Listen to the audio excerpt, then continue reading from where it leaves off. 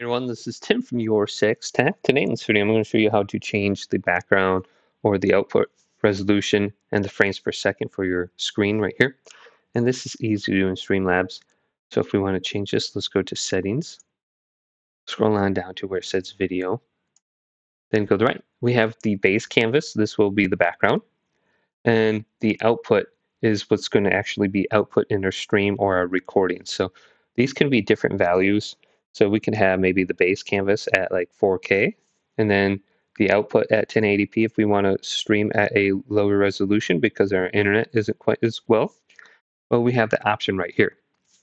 Or maybe you have like a, a 1080p monitor or something like that, and you want to go and just downscale it. Well, you can there. And then we have the frames per second. So this is going to determine uh, how quick the frames is on your output. So change this.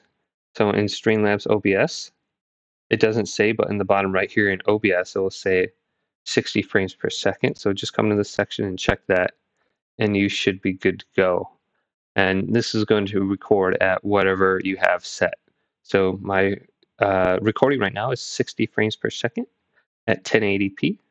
Hopefully this video did indeed help you out. If it did, leave it a big thumbs up and subscribe to my channel down below for more tech videos coming up next on Your Six Tech.